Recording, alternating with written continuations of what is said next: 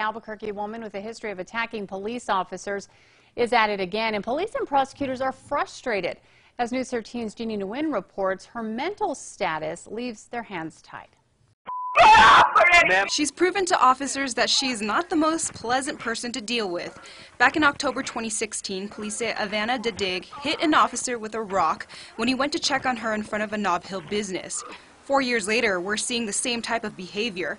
According to a criminal complaint, an officer was called to the gas station at Central and University last Sunday. Police say they found Dadig and a man there trespassing.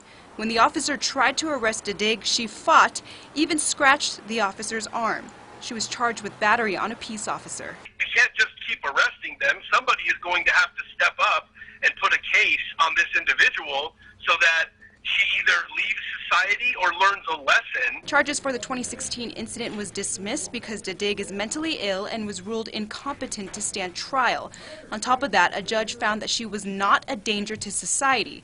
The Bernalillo County DA's office says because of that, they had no choice but to drop her charges and let her go. There is this gap where, you know, we, we have these cases where officers are, are put in danger, but uh, the offense doesn't rise to the level of great bodily harm. Joey Montano with the Bernalillo County DA's office admits cases like Dadig's are frustrating.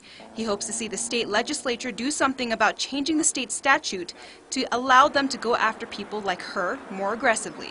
If it's not rising to the level of great bodily harm in our statutes, it'd be nice if there was some other avenue uh, for uh, those people to be receiving treatment. Jeannie Nguyen, KRQE News 13.